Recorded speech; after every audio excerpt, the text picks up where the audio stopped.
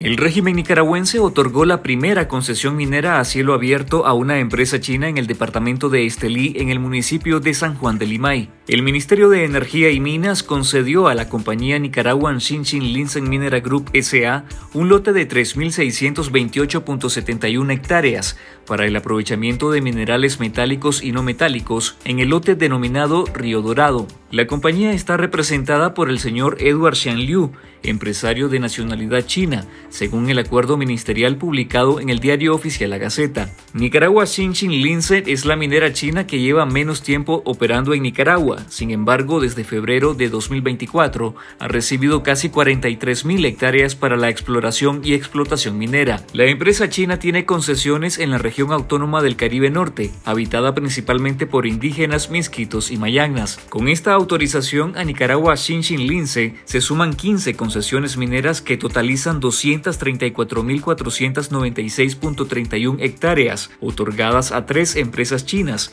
entre octubre de 2023 y agosto de 2024, según datos oficiales analizados por Confidencial. Las empresas son Nicaragua Xinjiang Lince con cuatro concesiones, Food Development SA con ocho permisos y Thomas Metal SA con tres concesiones. La empresa Lince con 42.490.81 hectáreas y Thomas Metal con 10.308.90 hectáreas, según el conteo de Confidencial. Ambientalistas nicaragüenses han criticado al régimen sandinista por seguir entregando concesiones mineras a cielo abierto. Hasta finales de 2023, Nicaragua había otorgado 299 concesiones mineras, 172 para la minería metálica y 127 para la no metálica. Lee los detalles en confidencial.digital.